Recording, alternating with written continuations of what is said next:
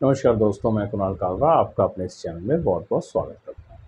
आज की इस वीडियो में हम बात करेंगे which is the planet of love in astrology देखिए, हम सब जानते हैं कि लव इन एस्ट्रोलॉजी की जब भी बात करते हैं तो उसमें प्लानट एक ही नाम आता है, वो होता है वीनस कि वीनस ही प्यार का है प्यार का प्रतीक है और वीनस प्रतीक। देखिए, वैसे सारे प्लानट्स आप ये नहीं कह सकते कि सिर्फ़ वीनस में ही आपका लव अफेयर होता है। और प्लैनेट्स में लव अफेयर नहीं होता। किसी का शनि में भी हुआ होगा, किसी का जुपिटर में भी हुआ होगा, किसी का मंगल में भी हुआ होगा। मैं बताता हूँ कि फ़र्क क्या है वीनस के और बाकी के उसमें। देखिए, होता क्या है कि वीनस एक पूरा जिसे कहते हैं कंप्लीट पैकेज है। प्यार आपको जुपिटर में भी होगा तो जुपिटर में आपके थोड़े से मॉरल वैल्यूज़ जो प्यार होगा जिससे, उससे आप रिस्पेक्ट उसकी ज़्यादा करेंगे रिस्पेक्ट की तरफ़ ज़्यादा जाएगा। तो चांसेस है जुपिटर विजडम से रिलेटेड आपको प्यार की सारी खूबियाँ उसमें दिखेंगी। शनि से होगा तो हो सकता है आपको अपनी एज से ज़्यादा किसी बड़े से प्यार हो।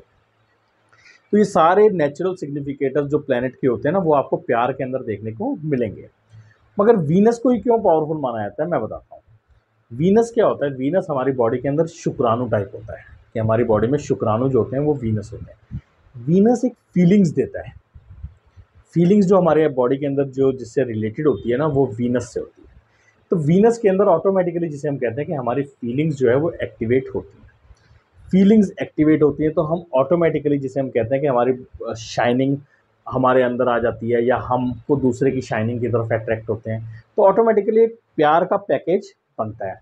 प्यार के लिए अच्छा और वीनस एक सिग्निफिकेटर है शादी का भी। किसी की शादी नहीं हो रही है, बड़े टाइम से अटकी पड़ी है, जो नई फीलिंग्स बन रही। वीनस की दशा आते ही वो जिसे हम कहते हैं ना कि उसके अंदर फीलिंग्स जागेंगी।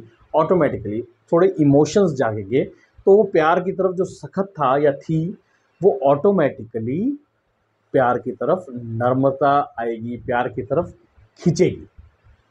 तो जिसे हम कहते हैं कि ये जो कंप्लीट पैकेज मिलेगा, वो आपको सिर्फ़ वीनस के अंदर मिलेगा। आप सजेंगे, आप जजेंगे आपके अंदर जिसे हम कहते हैं ना, एक हीट आएगी, एक वार्मथ आएगी। हीट आएगी heat is not warm heat आएगी।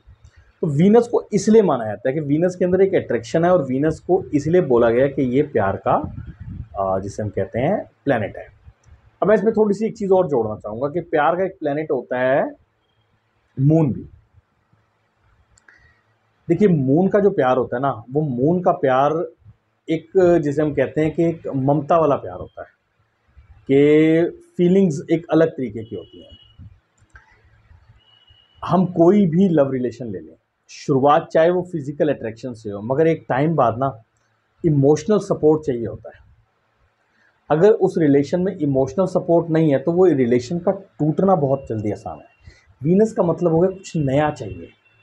अगर एक रिलेशन में सिर्फ़ वीनस ही है और मून नहीं है तो होगा क्या कि आप बहुत जल्दी बोर हो जाएँगे अपने पार्टनर से? आप आगे बढ़ने का सोचेंगे, आपको नया कुछ चाहिए होगा।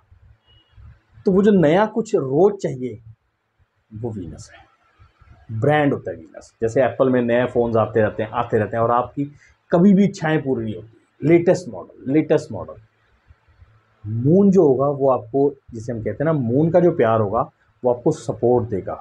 इमोशंस के कभी आप दुखी हैं, आप परेशान हैं तो जो कंधा देगा, वो मून देगा। आपके आँसू जो पहुँचेगा, वो मून अगर आपको प्यार आँखों से हो रहा है, किसी की आँखों से प्यार हो रहा है, किसी की चेहरे से प्यार हो रहा है तो समझ लीजिए मून वाला प्यार है। और सिर्फ़ फ़िज़िकल अट्रैक्शन से हो रहा है जिमिंग बॉडी से हो रहा है, या किसी तरीके से हो रहा है तो वो वीनस वाला प्यार है। कई बार हमें किसी के शूज़ किसी की गाड़ियाँ, किसी की घड़ियाँ, किसी के जैसे हम कहते हैं असेसरीज़ किसी का चलने का तरीका या किसी का बैठने का तरीका लॉन्ग लेग्स जब भी हमें ये वाला प्यार होना तो समझ लीजिए कि ये जो प्यार की शुरुआत है, ये वीनस वाले लव की शुरुआत है। आगे जाके ये मून वाला लव हो सकता है, मगर इसकी जो शुरुआत है वो ये समझ लीजिए कि वीनस वाली।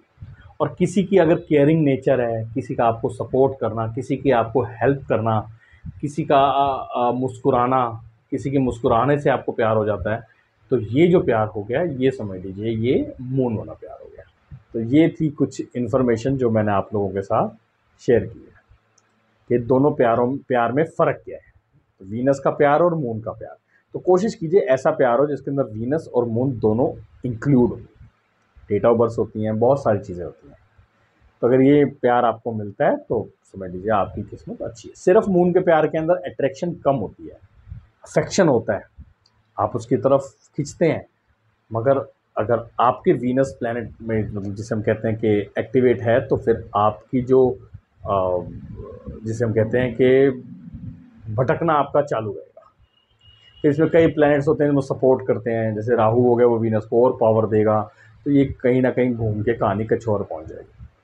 तो आपको कंफ्यूज नहीं करना, मैं मतलब और वीडियोस के थ्रू उसको मैं और क्लियर करता जाऊँगा आहिस्ता आहिस्ता।